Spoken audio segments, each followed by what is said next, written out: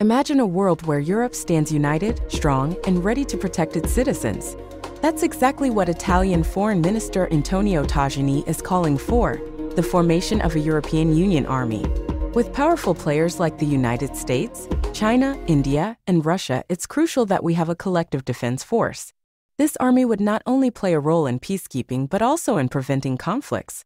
It's time for closer European cooperation on defense, and this is a priority for Forza Italia. A European military is the key to an effective European foreign policy. So let's stand together, let's protect our people, and let's make a difference in the world. The time for a European Union army is now.